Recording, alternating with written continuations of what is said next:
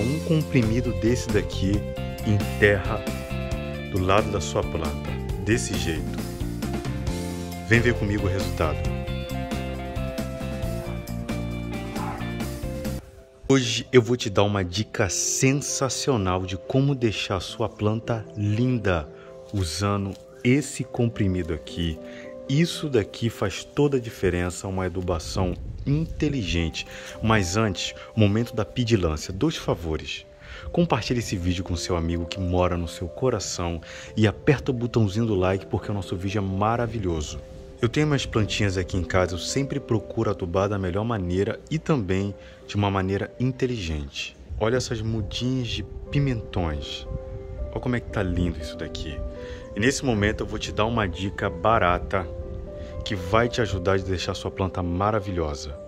Sem demora, é com isso aqui, meu povo, direto ao assunto, tubação inteligente. Você enterra um comprimido em qualquer planta dessa e ela vai vir e esse comprimido vai liberar nutrientes. Olha aqui, tá tudo aqui atrás. Nitrogênio, fósforo, potássio, cálcio, enxofre, tudo isso daqui.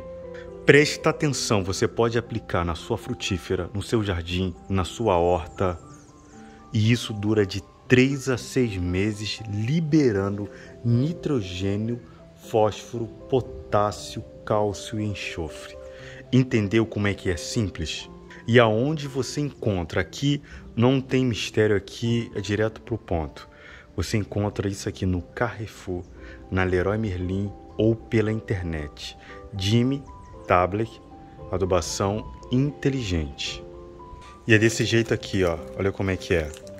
Muito legal, gente. Agora eu vou abrir e vou aplicar no meu coentro porque está chegando na parte final e eu quero que ele cresça mais um pouquinho. Você pega um comprimido desse, vai lá na sua planta, qualquer planta, e ó, enterra assim. Tá vendo? Desse jeito. Enterrei, cobri. Seis meses de adubação. Vamos aplicar água. Para a planta absor absorver, sempre jogue água no local aonde está esse comprimido.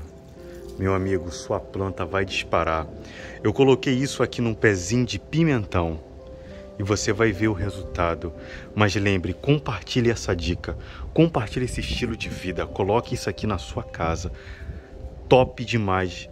Vem ver comigo o resultado no pé de feijão, no pé de pimentão.